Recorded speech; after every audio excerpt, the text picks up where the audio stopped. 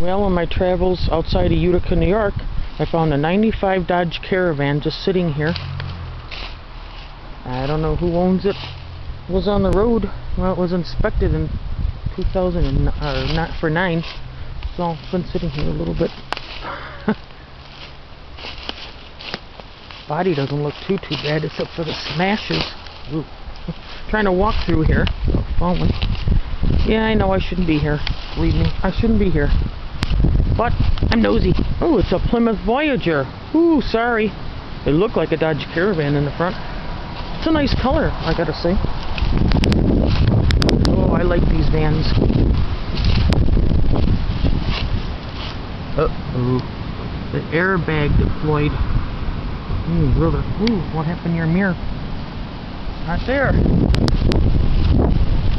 Paint peeling off, which was pretty the norm in this era.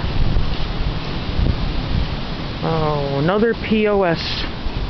Just sitting here, rotting away. Well, we'll see you later. Bye.